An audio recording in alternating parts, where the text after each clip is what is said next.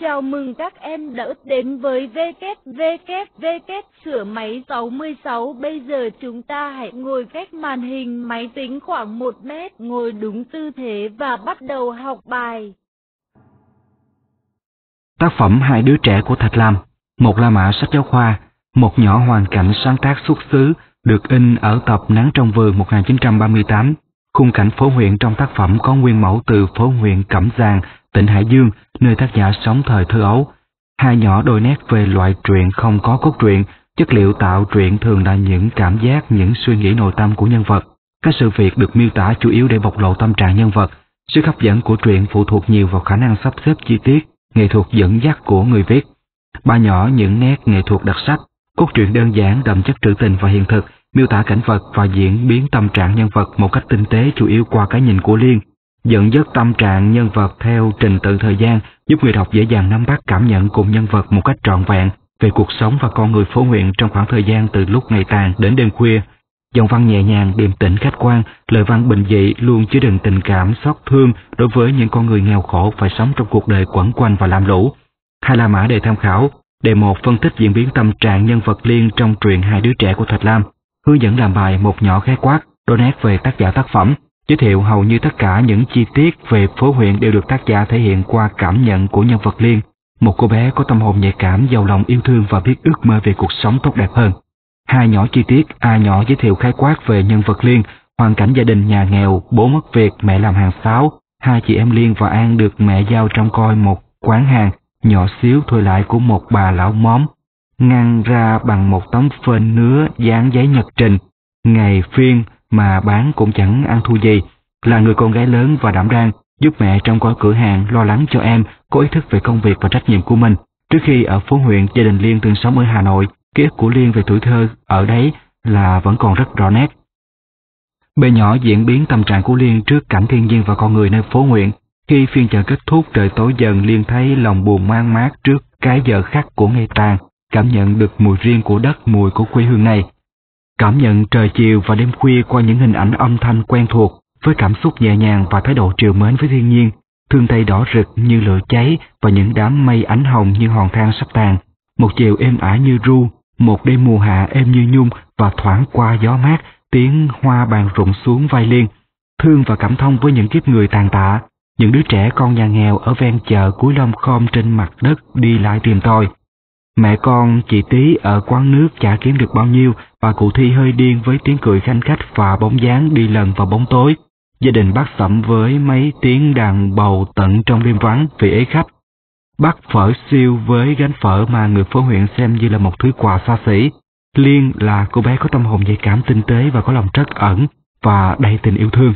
C. Diễn biến tâm trạng của Liên khi đoàn tàu đến và đi qua. Chuyến tàu đến trong sự chờ đợi háo hức của hai chị em Liên và An, không phải vì để bán được hàng mà là vì con tàu như đã đem đến một thế giới khác đi qua phố huyện, khuấy động xua đi bớt cái bóng tối dày đặc nơi đây. liền đánh thức em khi đoàn tàu còn ở xa với ngọn lửa xanh biếc tiếng còi xe lửa từ đâu vang lại, tiếng dồn dập tiếng xe rít mạnh vào ghi, một làn khói bừng sáng trắng lên đằng xa, liền dắt em đứng dậy chăm chú nhìn đoàn tàu với các toa đèn sáng trưng, đồng và kền lấp lánh. Chuyến tàu đi qua trong cái nhìn nối tiếc của hai chị em nhìn theo đoàn tàu cho đến khi nó xa xa mãi rồi khuất sau rặng tre. Khi đoàn tàu đã đi, liên lặng theo mơ tưởng về một Hà Nội sáng rực và huyên náo, Hà Nội của hạnh phúc của ký ức tuổi thơ êm đềm. Dù sống nơi phố huyện nghèo với cuộc sống tẻ nhạt lặp đi lặp lại, nhưng trong Liên vẫn có những ước mơ khao khát về một cuộc sống mới tốt đẹp hơn. Ba nhỏ đánh giá, nghệ thuật miêu tả tập hợp các chi tiết thể hiện những cảm giác tinh tế, những suy tưởng sâu kín của nhân vật về cảnh vật xung quanh, một cách hợp lý theo trình tự thời gian, hai đứa trẻ là một thế giới tâm trạng được dệt bằng cảm giác cảm tưởng của nhân vật. Qua việc miêu tả tâm trạng của nhân vật Liên, Thạch Lam thể hiện niềm trân trọng với những ước mong đổi đời tuy còn mơ hồ của những kiếp người sống cơ cực quanh quẩn nơi phố huyện nghèo. Qua đó thể hiện được một thông điệp, con người phải sống cho ra sống, sống không ngừng khao khát và xây dựng một cuộc sống có ý nghĩa. Đề hai phân tích hình ảnh thiên nhiên và con người ở phố huyện lúc chiều tối trong truyền ngắn hai đứa trẻ của Thạch Lam để thấy được những đặc sắc trong nghệ thuật miêu tả của tác giả, hướng dẫn làm bài một nhỏ khái quát, đôi nét về tác giả tác phẩm, giới thiệu qua nghệ thuật miêu tả tinh tế, Thạch Lam đã thể hiện bức tranh thiên nhiên và con người ở phố huyền nghèo, lúc chiều tối một cách chân thực đầy ám ảnh. Hai nhỏ chi tiết, hai nhỏ hình ảnh thiên nhiên, biểu hiện hình ảnh và màu sắc hoàng hôn đỏ rực, ngàn sao lấp lánh đom đóm nhấp nháy đặc biệt là sự tương phản giữa ánh sáng nhỏ nhoi yếu ớt và bóng tối dày đặc bao trùm phố huyện, âm thanh tiếng ếch nhái vang vẳng, tiếng mũi vo ve, tiếng hoa bàn rụng khẽ. Mùi vị, mùi quen thuộc của các bụi của đất của quê hương, cảnh êm ả nhưng đượm buồn, thể hiện tình cảm triều mến nâng niu của nhà văn với cảnh vật thiên nhiên, gợi lên được không khí buồn tẻ nơi phố huyện, làm nền cho hoạt động của con người, giúp nhân vật thể hiện tâm trạng tạo nên chất trữ tình của tác phẩm. Nghệ thuật miêu tả thiên nhiên hiện ra dưới cái nhìn của cô bé Liên, một tâm hồn nhạy cảm tinh tế câu văn có nhịp điệu giàu chất thơ, âm thanh màu sắc mùi vị, kết hợp hài hòa để tạo nên không khí riêng của phố huyện, hình ảnh bóng tối lặp đi lặp lại đầy ám ảnh, mang một ý nghĩa đặc biệt. B. Hình ảnh con người, biểu hiện các hoạt động chậm chạp, đơn điệu, những người bán hàng nán lại nói chuyện sau buổi chợ, những đứa trẻ nghèo lâm khom nhặt nhạnh các thứ còn sót sau buổi chợ. Mẹ con chị Tí từ từ dọn quán nước với những đồ đạc đơn sơ, chị em Liên thông thả đóng cửa hàng tạp hóa nhỏ xíu, gia đình bác Sẩm với tiếng đàn bầu bật trong yên lặng, gánh phở vắng khách của bác Siêu với những đối thoại tẻ nhạt vẫn vơ và uể oải. Ngày nào họ cũng đợi tàu để cầu may, mong bán thêm một chút gì, cuộc sống đơn điệu cẩn quanh, tâm trạng con người buồn bã ít hy vọng, có mong đợi nhưng chỉ là những ước mong mơ hồ và xa xôi. Nghệ thuật miêu tả, chọn các chi tiết tương đồng gợi lên không khí tàn tạ của buổi chiều tàn, với phiên chợ nghèo và những kiếp người tàn tạ, nhấn mạnh sự đối lập giữa bóng tối mênh mông và ánh sáng leo lét của ngọn đèn, gợi suy nghĩ về cuộc sống tù động bế tắc với những ước mơ xa xôi và thoáng qua. Ba nhỏ đánh giá giọng văn miêu tả đều đều đượm buồn tha thiết, thể hiện tình cảm yêu mến thiên nhiên, niềm xót thương gia diết của Thạch Lam đối với những kiếp người sống mòn mỏi nơi phố huyện và thái độ trân trọng mong ước có một cuộc sống tốt đẹp hơn.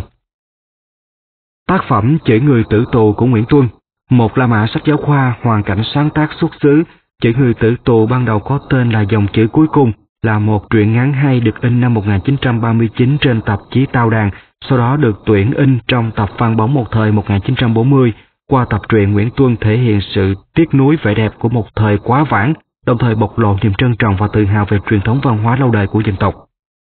Hai nhỏ tình huống truyện, trên phương diện xã hội huấn cao và quản ngục hoàn toàn đối lập là một tên đại nghịch và một là đại diện cho uy quyền phong kiến, nhưng ở phương diện nghệ thuật họ là tri âm tri kỷ của nhau Nhà văn đưa hai nhân vật vào chốn ngục tù đầy những tàn nhẫn lừa lọc, tạo nên cuộc gặp gỡ éo le, qua đó làm nổi bật vẻ đẹp lãng mạn của mỗi nhân vật và thể hiện sâu sắc chủ đề tác phẩm.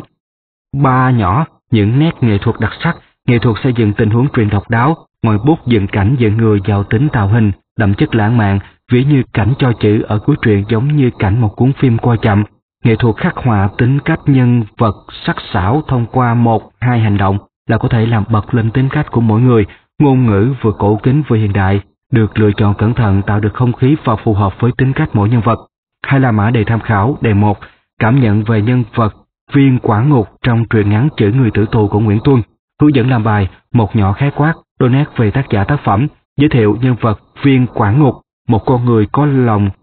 biệt nhẫn liên tài, biết quý trọng thiên lương là nhân vật để lại trong lòng người đọc nhiều suy ngẫm về một thái độ sống trong cuộc đời. Hai nhỏ chi tiết, A nhỏ hoàn cảnh gặp gỡ giữa quản ngục và huống cao, tình huống gặp gỡ đầy éo le giữa hai nhân vật tình huống truyện, đặc biệt là khi quản ngục nhận được công văn khẩn của quan hình bộ thượng thư về việc chuyển các tử tô vào pháp trường trong kinh đã giúp cho tính cách của quản ngục được bộc lộ rõ nét.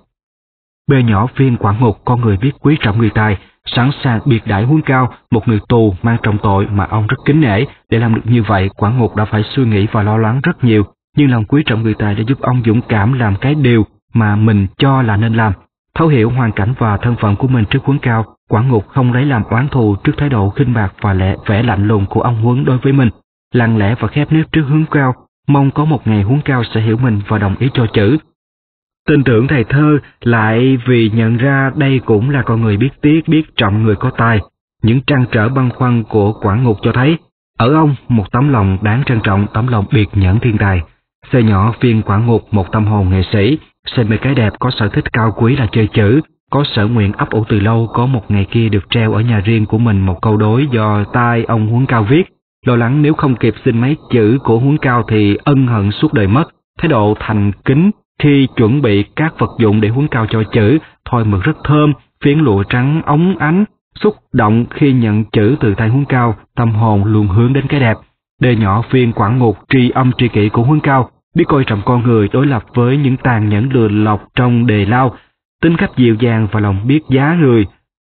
Biết trọng người ngay của viên quan coi ngục này là một thanh âm trong trẻo chen vào giữa một bản đàn mà nhạc luật đều hỗn loạn và xô bồ. Ý thức được mình có chọn nhầm nghề, có lẽ hắn, tức là thầy thơ lại cũng như mình chọn nhầm nghề mất rồi. Nhận ra được ý nghĩa sâu xa trong lời khuyên của huấn cao, biết cúi đầu trước huấn cao, hiện thân của cái tài cái đẹp cái thiên lương cao cả, quả ngục đúng là một tâm hồn trong thiên hạ mà huấn cao được gặp gỡ, là người có thiên lương và có ý thức giữ gìn thiên lương. Rõ ràng huấn cao và quả ngục đã cảm được cái tình tri âm, tri kỷ của nhau. Ba nhỏ đánh giá, việc giữ gìn thiên lương đối với huấn cao một anh hùng không có gì là khó, nhưng với quả ngục thì khác. Làm việc ở chốn đời lao mà bao nhiêu năm rồi con người này vẫn ấp ủ trong lòng cái sở nguyện cao quý và vẫn giữ được tấm lòng quý trọng con người. Đó là điều mà Nguyễn Tuân đã ca ngợi và cũng là điều đáng để chúng ta trân trọng. Đề 2. Cảm nhận vẻ đẹp của nhân vật khuấn cao trong truyện ngắn Chữ người tử tù của Nguyễn Tuân. Hướng dẫn làm bài một nhỏ khái quát đôi nét về tác giả tác phẩm, giới thiệu nhân vật khuấn cao, một người anh hùng tài hoa có khí phách, có thiên lương và biết quý trọng thiên lương, hai nhỏ chi tiết, hai nhỏ hoàn cảnh gặp gỡ. Tình huống gặp gỡ giữa huấn cao và quản ngục cho thấy thơ lại trong đề lao đã làm bộc lộ rõ sự tài hoa và khí phách thiên ngang của huấn cao. B nhỏ nhân vật huấn cao, tài hoa, lời nhận xét của quản ngục về tài năng của huấn cao, là người mà vùng tỉnh Sơn ta vẫn khen cái tài viết chữ rất nhanh và rất đẹp, chữ ông huấn cao đẹp lắm vuông lắm. Quảng Ngục vẫn ước ao có một ngày kia được treo ở nhà riêng của mình một đôi câu đối do tay ông huấn cao viết, những nét chữ vuông tươi tắn mà huấn cao viết trao cho Quảng Ngục trong hoàn cảnh cổ đeo gông, chân vướng xiềng, khí phách, thản nhiên nhận rượu thịt của Quảng Ngục coi như đó là việc vẫn làm trong cái hứng sinh bình, tỏ ra khinh bạc với Quảng Ngục, khẳng khái không vì quyền thế hay vàng bạc mà ép mình cho chữ, giữ được tư thế đường hoàng đỉnh đạt trong suốt những ngày ở đề lao và cả khi sáng hôm sau sẽ phải ra pháp trường. Có thiên lương cao đẹp và biết quý trọng thiên lương, quý trọng tấm lòng của quản ngục đồng ý cho chữ an năng vì thiếu chút nữa ta đã phụ mất một tấm lòng trong thiên hạ. Khuyên quản ngục nên thay chốn ở đi không chỉ trao những chữ vuông tươi tán mà còn trao cho quản ngục một vật báo vô giá khác con đường giữ gìn thiên lương, ẩu hướng cao cái tài và cái tâm soi tỏ cho nhau. Bài nhỏ đánh giá Nghệ thuật khắc họa tính cách nhân vật sắc sảo tỉ mỉ qua những chi tiết được miêu tả rất công phu, từ ngữ được lựa chọn kỹ lưỡng. Qua nhân vật khuôn cao, Nguyễn Tuân bộc lộ thái độ ngợi ca cái đẹp và trân trọng người sáng tạo ra cái đẹp. Đề ba quan niệm của Nguyễn Tuân về cái đẹp qua cảnh cho chữ trong truyện ngắn Chữ người tử tù của Nguyễn Tuân, hướng dẫn làm bài một nhỏ khái quát, đôi nét về tác giả tác phẩm, giới thiệu cảnh cho chữ cảnh tượng xưa nay chưa từng có và cũng là cảnh ấn tượng nhất trong tác phẩm. Hai nhỏ chi tiết, A nhỏ cảnh cho chữ cảnh tượng xưa nay chưa từng có, Ngục thất tối tăm bỗng trở nên sáng rực bởi ánh sáng đỏ rực của một bó đuốc thẩm dầu và cái sắc trắng ống ánh của phiến lụa. Chốn trại giam bẩn thỉu, tường đầy mạng nhện, đất bừa bãi phân chuột phân dáng bỗng trở thành nơi cho chữ trang nghiêm, nơi sáng tạo ra cái đẹp. Nhà tù lại là nơi mà tù nhân làm chủ, kẻ tử tù trong tư thế hiên ngang lồng lộng, đường hoàng dõng dạc răng dại ngục quan, còn ngục quan thì cúi đầu kẻ mê mùi này xin bái lĩnh. Người sáng tạo ra cái đẹp bất tử lại là người chỉ vài canh giờ nữa sẽ đi vào cõi chết. Nhà tù, nơi người ta sống bằng tàn nhẫn bằng lừa lọc, giờ đây trở thành nơi gặp gỡ của những tấm lòng trong thiên hạ, của những tâm hồn tri kỷ. Mọi trật tự thông thường đều bị đảo lộn, nghệ thuật miêu tả đối lập được nhà văn khai thác triệt để, đối lập giữa ánh sáng và bóng tối, giữa cái đẹp và sự nhem nhuốc dơ bẩn, giữa thiên lương và tội ác, thể hiện sâu sắc tư tưởng của tác phẩm, ánh sáng sẽ xua đi bóng tối, cái đẹp luôn luôn chiến thắng cái xấu, thiên lương sẽ chiến thắng tội ác. B nhỏ quan niệm của Nguyễn Tuân về cái đẹp qua cảnh cho chữ. Cái đẹp có thể được sinh ra ở bất cứ nơi đâu, bất cứ lúc nào. Nó không lệ thuộc vào thời gian không gian và chỉ cần những tấm lòng. Cái đẹp có thể đưa con người đến gần nhau trong sự đồng cảm sâu xa, hướng con người đến những điều tốt đẹp. Cái đẹp và cái thiện không bao giờ tách rời, biết hướng đến cái đẹp tức là luôn giữ được và phải biết giữ cho được thiên lương của con người. Bài nhỏ đánh giá cảnh cho chữ đã thể hiện tài năng của Nguyễn Tuân trong việc lựa chọn ngôn ngữ để dựng cảnh dựng người, cho thấy con mắt quan sát tinh tường và sự am hiểu sâu sắc xã hội, văn hóa đời xưa và hơn hết là tấm lòng trân trọng nâng niu cái đẹp của tác giả. Cảm ơn đã xem, mời bạn đăng ký để theo dõi các video tiếp